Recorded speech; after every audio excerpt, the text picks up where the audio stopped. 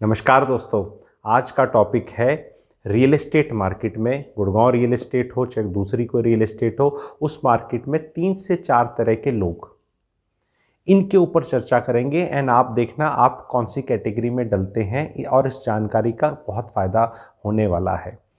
एक कैटेगरी है जो पुराने आशिक ठुकराए हुए, जो जहाँ फ्लैट में फंस गए आम्रपाली के कहीं ग्रेटर नोएडा में, जिनके परिवार में प्रॉपर्टी फंसी पड़ी है, या जिनने कोई प्रॉपर्टी ले ली, बनी नहीं। मान लो अंसल का वो 103 वाला जो अभी करके बन रहा है द्वारका एक्सप्रेसवे पे, या इस तरह की प्रोजेक्ट्स में आप जो डले हुए हैं, कुछ इस तरह के लोग हैं। अब इन तरह के लोगों का पे चर्चा करेंगे। फिर एक तरह के लोग हैं जिनने फ्रेश अपने जीवन में कोई प्रॉपर्टी खरीदी है, एक साल, दो साल पहले या अभी खरीदी है। ये वो हैं जो कोई फंसे ही नहीं क्योंकि जीवन की पहली प्रॉपर्टी ही अभी खरीदी, क्योंकि उम्र का जो साइकिल है, उनका उस तरह का साइकिल रहा है।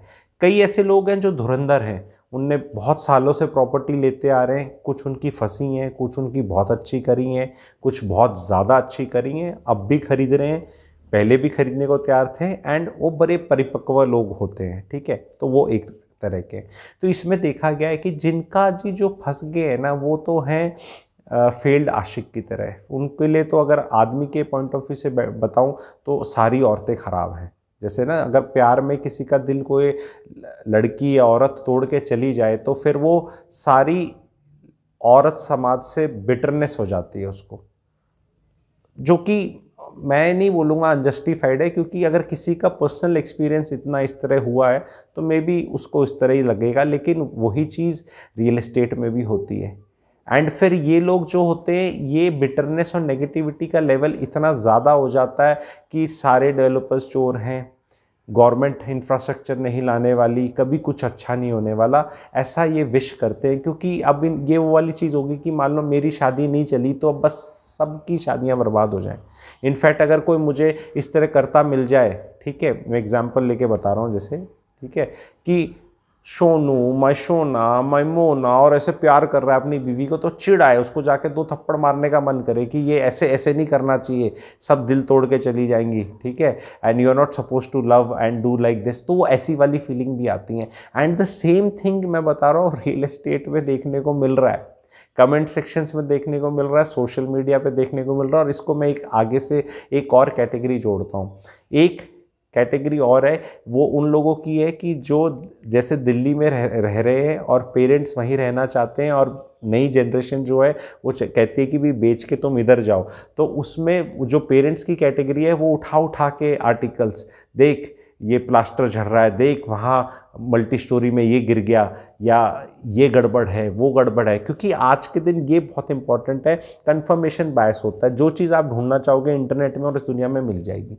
आप कोई सा नैरेटिव बना लो, सारे नैरेटिव चलते हैं।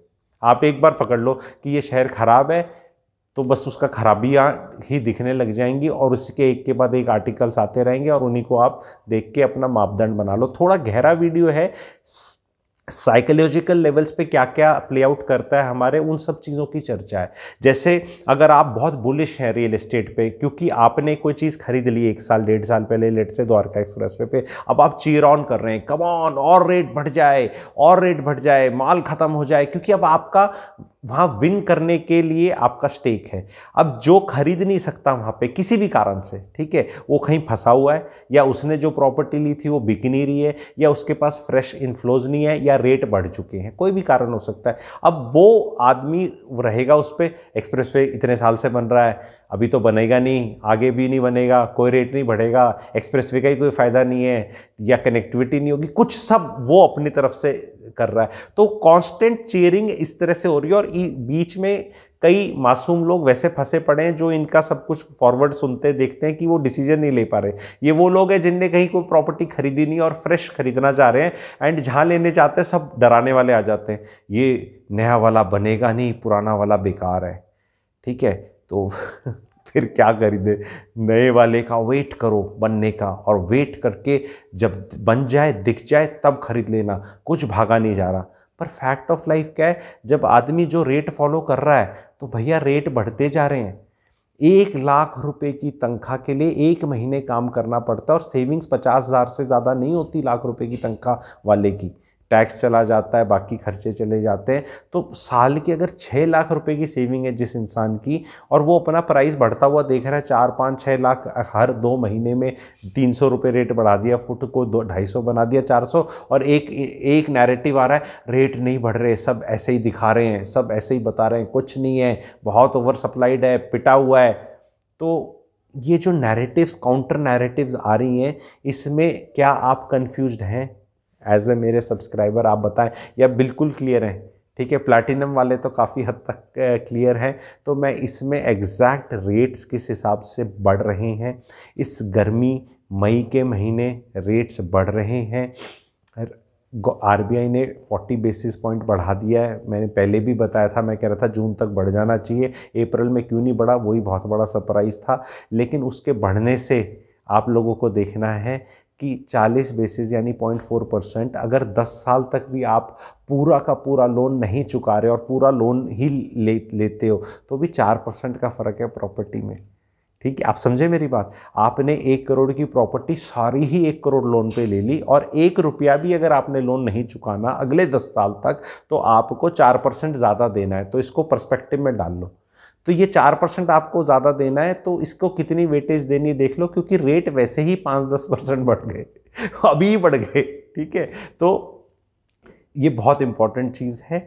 Do not keep delaying your decision making जहाँ जो चीज़ आपके टारगेट में आ रही है बजट में आ रही है, उतनी ग्रेट और अच्छी नहीं लग रही किसी कारण से कि यार ये तो छोटा लग रहा है, यार नहीं ये तो महँगा लग रहा है तो भी अगर आप ले लेंगे तो हो सकता है दो से तीन साल में जो मायने थे छोटे और महँगे के वो चेंज हो जाएँगे और आपको ये फिट बैठेगा साइज़ में भी और रेट में भी।